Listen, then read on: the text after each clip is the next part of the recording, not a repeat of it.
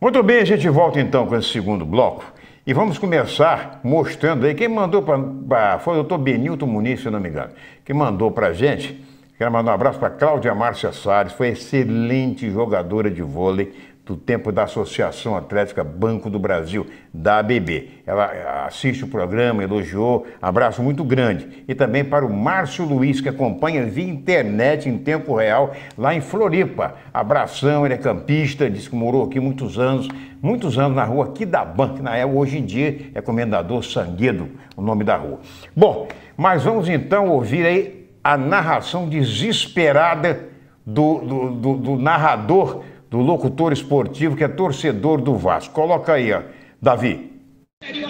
Para o Vasco não cair, meio minuto de drama, meio minuto de sufoco, meio minuto de desespero, meio minuto de oração, de fé em Deus. Agora falta menos, faltam 15 segundos. O juiz olhou o relógio, apita, juiz, por favor, juizão, pelo amor de Deus, apita, cara. Vai se esgotando o tempo que você acrescentou. Três minutos vai apitar, vai acabar o jogo. Bola pelo alto, linha divisória do gramado, bate nela, ataque do Vasco. Acabou, o Vasco está salvo, o Vasco está salvo, o Vasco está salvo. Eu sou like para a cruz de Malta, a cruz de Cristo brilha. O Fluminense se salva, o Vasco também. Esporte rebaixado, América Mineiro rebaixado,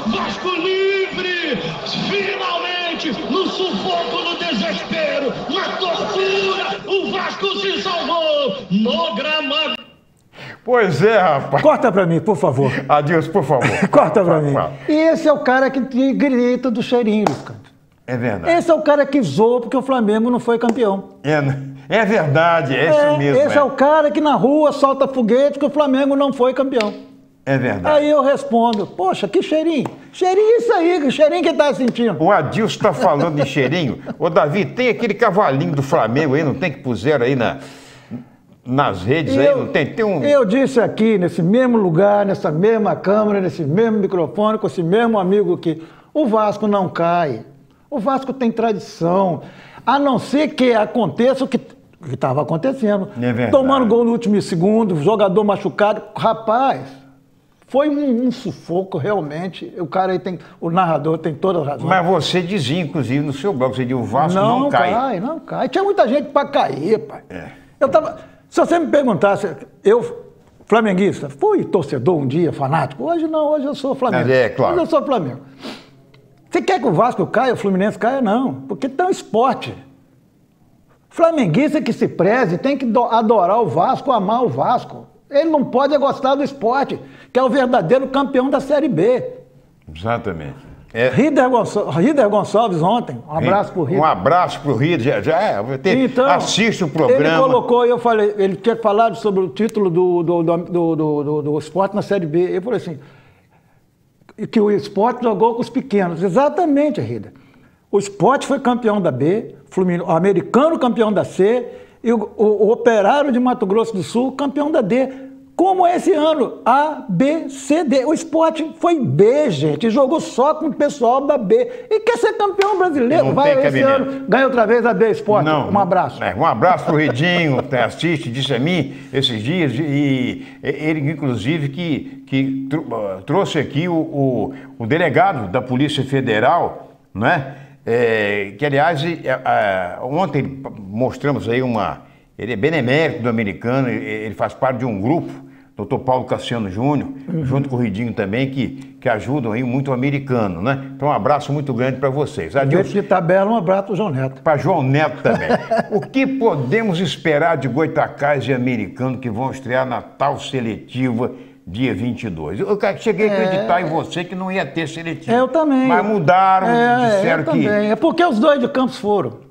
É capaz. Não ia ter seletiva. Eu aquela informação que eu dei era perfeita. O Leandro, o meu, meu- o meu Leandro, Leandro Dutra, trabalhou Leandro. muito tempo no, no, no STJD. O Leandro, filho, ele- o Leandro, filho mais velho de Adilson, ele, quando Mais era novo. garoto, mais, era o mais novo, Mais Leandro. novo. É ele que tinha uma. Não, não era o Ah, o mais velho é o Ralph, é o o. Ralph, o Ralph, o, o Ralph, esse para acompanhava Adilson para os jogos É, que ele- Adilson ele que me deu essa camisa aqui. Ele, ele, tinha, ele mora fo- fora, né? Tá, mora em Volta Redonda. Mora em Volta Redonda. O, o Ralph tinha o sonho dele, todo mundo quer ser atleta, né? ele Ju- queria ser juiz, juiz de de futebol. futebol, É paixão Brincadeira, né? Só não foi porque eu não deixei. Não, deixei. Não, porque não Eu pode. tirei não. da cabeça E a dele. Marina também, Não, naturalmente, não, não, não deixou a esposa dele. Era- ia ser xingada em Queria- campo. queria ia ser, juiz de futebol. Ele- Juiz de futebol. É brincadeira exatamente. Mas você acha que. Vamos só para. Eu vou fazer o seguinte com você.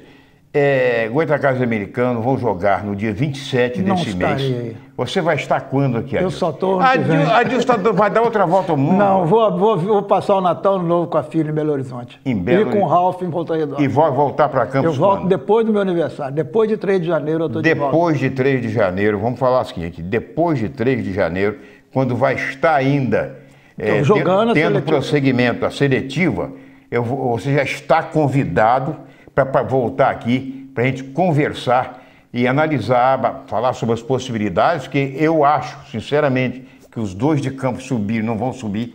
Essa é a minha concepção. Quer dizer, disputar na elite, eu não acredito. Pode fazer, como aconteceu com o Goitacai, de ficar, de ficar um ano parado, Eu estava conversando com o Branco quando nós nos encontramos na porta daqui da emissora. Eu estava dizendo para ele, ele falou, Adilson, e aí, tá, tá difícil. Eu falei, eu não vou dizer que é impossível, porque o impossível não existe. Não existe, é claro. Não, impossível não existe. Mas a federação está fazendo de tudo. Inclusive, essa seletiva, o Leandro tinha essa informação de cocheiro do pessoal do STJD, que não teria seletiva. Agora, só teve a seletiva que os dois campistas classificaram. Classificar. É verdade. E, e para os dois está complicadíssimo, porque os adversários são barra pesada. Não é aí, esquece federação. Esquece clima contra, clima hostil e tudo mais. Porque os adversários estão mais bem preparados do que os daqui. Eu também acho. Se você me perguntar, pô, quero os dois. Claro que eu quero.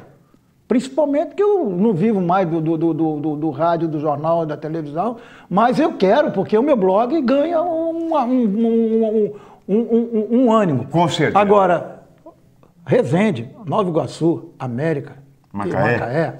É, compli- A é complicado. É complicado. O americano ainda vai disputar ainda, no começo do ano que vem, vai disputar também é, a Copa, do, Copa Brasil, Não é verdade? um jogo só para ganhar dinheiro e tchau e benção. Adilson, brigadão, meu irmão. Estamos Abraço, combinados então para o comecinho de janeiro, Aham. tá? Você estará de volta A com a gente gente volta aqui, daqui a pouco conversando com, com, com o Branco aqui. Com certeza. Daqui a, é, mas daqui É, a pouco nós vamos voltar, É. tem o terceiro bloco, A com a a presença também do Branco, treinador do Roxinho. Segura aí, é pai bola.